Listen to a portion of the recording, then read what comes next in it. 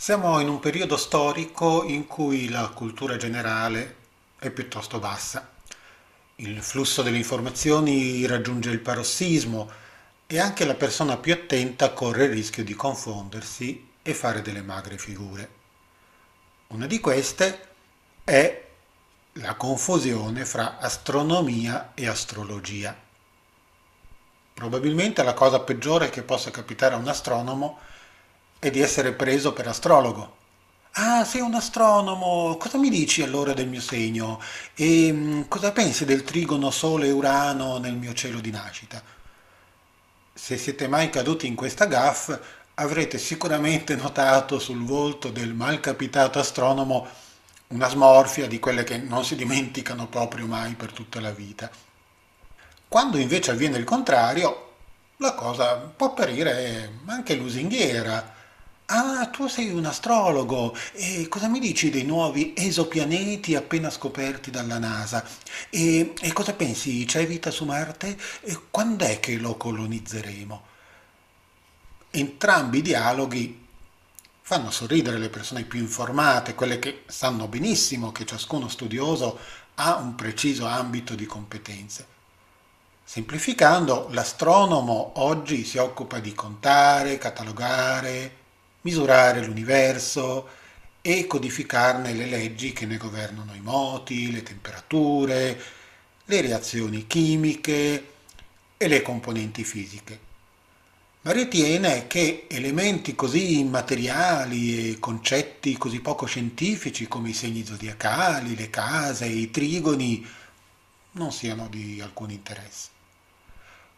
Questo perché gli astronomi non ammettono che possa esistere una qualsivoglia influenza o correlazione fra eventi celesti ed eventi umani.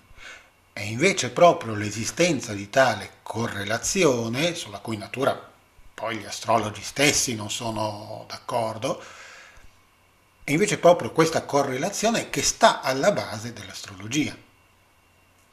Direi anzi che proprio questo è l'unico fondamentale e irrinunciabile dogma in cui tutti gli astrologi sono tenuti a, tra virgolette, credere, se proprio vogliamo usare questo verbo che secondo me è assolutamente fuorviante. Infatti non si chiede a nessuno di credere all'astrologia. L'astrologia la si studia, la si impara, la si sperimenta, la si verifica e se si vede che funziona si continua a studiare e a utilizzarla. Da parte loro gli astrologi non sono tenuti a occuparsi di esopianeti, di forze gravitazionali, di galassie e di teorie sulla nascita e sull'espansione del nostro universo, ma è sbagliato pensare che non vi siano notevoli punti di contatto fra astronomia e astrologia. E comunque, a proposito di esoplaneti, io ne parlo nel mio libro intitolato Astrologia extraterrestre. Ma tornando ai punti di contatto fra astronomia e astrologia. Gli astrologi utilizzano una particolare branca della scienza che viene comunemente chiamata astronomia sferica, oppure astronomia della sfera locale o anche geografia astronomica. È con quest'ultima denominazione che ai miei tempi io, per esempio, l'ho studiata al liceo, geografia astronomica. Di cosa si occupa? La geografia astronomica o astronomia sferica studia i vari sistemi di coordinate che, grazie anche a rigorosissimi calcoli trigonometrici, servono per determinare la posizione e i movimenti della volta celeste e degli oggetti che su di essa sembrano essere ancorati, e sono le stelle fisse, o sembrano muoversi in maniera più o meno regolare e sono i pianeti e i luminari. Ci fu un lungo periodo nella storia delle arti e delle scienze umane, categorie che qui consideriamo cumulativamente come discipline che hanno fortemente contribuito all'evoluzione e allo sviluppo della scienza, dicevo ci fu un lungo periodo in cui il confine fra astronomia e astrologia non era così netto.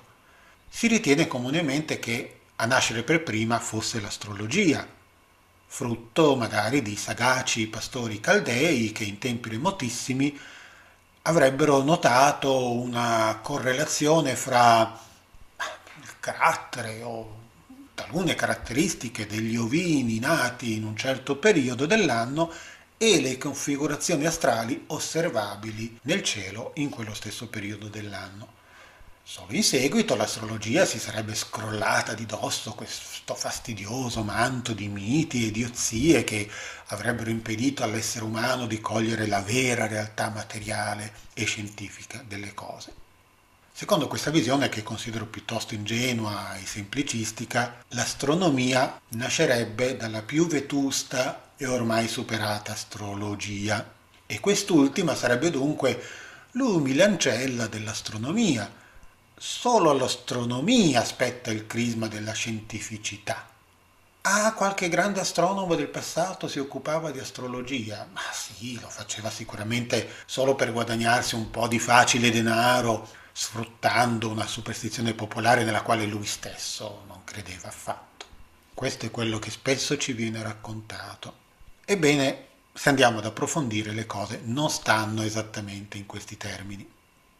Nessuno sa con certezza quando nacque nell'essere umano l'abitudine di osservare regolarmente il cielo. A mio modesto avviso credo che osservare il cielo e fissarne, dunque anche prevederne i cicli, fosse questione di vita o di morte, sia per le primitive comunità nomadi di cacciatori che per i primi insediamenti umani dediti all'agricoltura, alla pastorizia, all'allevamento. Il problema era come sapere qual è la stagione più propizia alla caccia. Come sapere quando è più opportuno arare, seminare, irrigare, potare, raccogliere, conservare. Come ricordarsi e prevenire anno dopo anno il mutare delle stagioni, le giornate che si accorciano e poi si allungano, le stagioni delle piogge, delle siccità, dei venti, e i periodi di fregola, di gestazione, di riproduzione degli animali. Per tutto questo si rese necessario, cioè per la nostra stessa sopravvivenza come specie, si rese necessario creare e fissare nel tempo un sistema affidabile di misurazione, appunto, del tempo. Un calendario, in altri termini. Un calendario che permettesse di insegnare e tramandare il momento più propizio per svolgere attività che vanno fatte sempre in un preciso periodo dell'anno, pena l'insuccesso. Per dire, inutile andare a pescare lo storione in un momento in cui lo storione non c'è. E non possiamo permetterci di andare tutti i giorni al torrente a vedere se lo storione c'è o non c'è. Dobbiamo osservare e prendere nota del periodo dell'anno in cui lo storione c'è e quindi possiamo andare a pescarlo a, diciamo così, a colpo sicuro.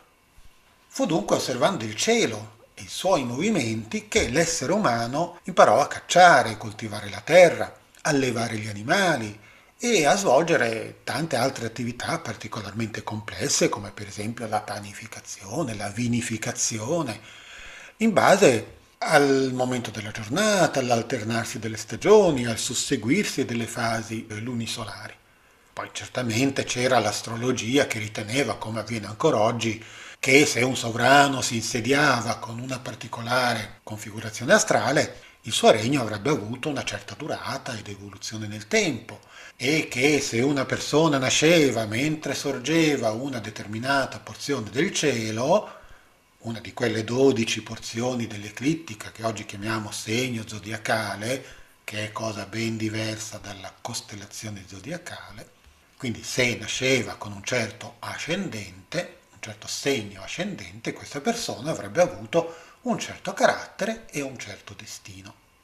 Pochi sanno però, e molti si rifiuteranno di ammetterlo, che gli scienziati dell'età d'oro della moderna astronomia il 500-600, grosso modo da Copernico a Galileo, sentirono la necessità di osservare il cielo e di fissare i movimenti planetari con crescente precisione e anche con strumenti ottici sempre più sofisticati, proprio per venire incontro alle esigenze dell'astrologia che utilizzava ormai effemeridi obsolete e palesemente imprecise. Sì, sì, avete capito bene. Sicuramente molti dei grandi astronomi dell'epoca avevano proprio questa priorità in mente. Effemeridi più precise uguale previsioni più accurate. In particolare Tycho Brahe, di cui Keplero raccolse i dati, o qualcuno dice che se ne appropriò con discrezione, comunque Keplero raccolse i dati di Tycho Brahe accumulati proprio con quell'obiettivo dichiarato. Fu dunque la necessità di compilare effemeridi più affidabili che spinse Keplero a formulare le sue leggi che regolano il movimento orbitale di tutti i corpi celesti. Quest'ultima storia, che in questo video accennerò soltanto per sommi capi, è avvincente.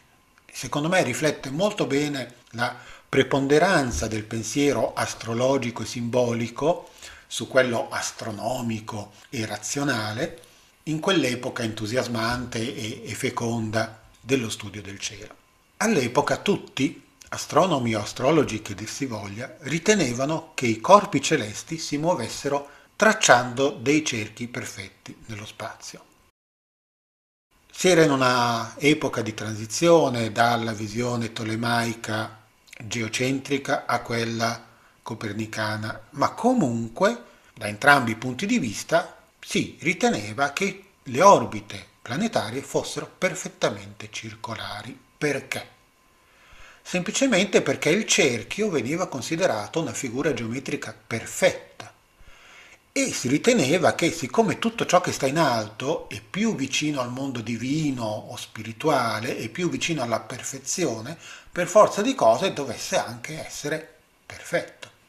Però ipotizzare che i pianeti si muovessero su orbite perfettamente circolari non spiegava come mai di tanto in tanto alcuni di essi sembrano rallentare, fermarsi e poi retrocedere nel loro cammino apparente sulla volta celeste e poi ancora sostare per poi riprendere il loro moto diretto.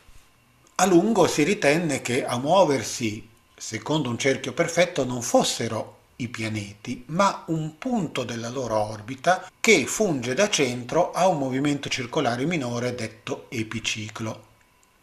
Questo doppio movimento circolare spiegava bene i periodi di apparente moto retrogrado dei pianeti, ma la teoria degli epicicli non permetteva di calcolare e prevedere con sufficiente accuratezza tutti i moti planetari. Le effemeridi di quegli anni risultavano dunque ancora troppo imprecise e inadatte a un uso sia astronomico che astrologico. In particolare Marte era il pianeta che più di tutti gli altri mostrava un'orbita irregolare che non si riusciva a spiegare e prevedere perfettamente con la teoria degli epicicli. In un momento topico del quale avrà poi modo di pentirsi amaramente, un bel dì Keplero, che era un ottimo matematico, eh? A differenza di molti altri osservatori del cielo di quell'epoca. Keplero si vantò un giorno di essere in grado di affinare i calcoli e di risolvere una volta per tutte la questione dell'orbita di Marte. Ma dico, se ne pentì amaramente perché da quel giorno lui fu letteralmente ossessionato da Marte, al punto da non dormirci più di notte e da ingaggiare con il pianeta e con ciò che esso rappresenta, quasi con il Dio stesso della guerra, ingaggiare una epica battaglia personale che molto si avvicina alla moderna idea astro-junghiana di esorcizzazione del simbolo.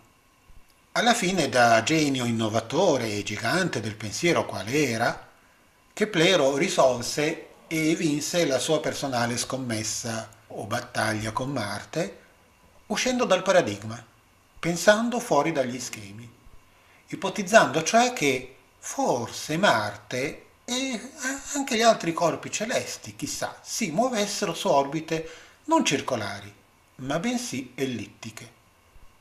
E così fu che, grazie a un astronomo, Keplero, le successive generazioni di astrologi poterono contare su effemeridi sempre più precise e affidabili, o che, rovesciando i termini della questione, grazie a un problema astrologico, la necessità di avere effemeridi più precise, le successive generazioni di astronomi poterono contare su leggi matematiche che di fatto spalancarono le porte alla comprensione delle leggi fisiche che regolano l'intero universo.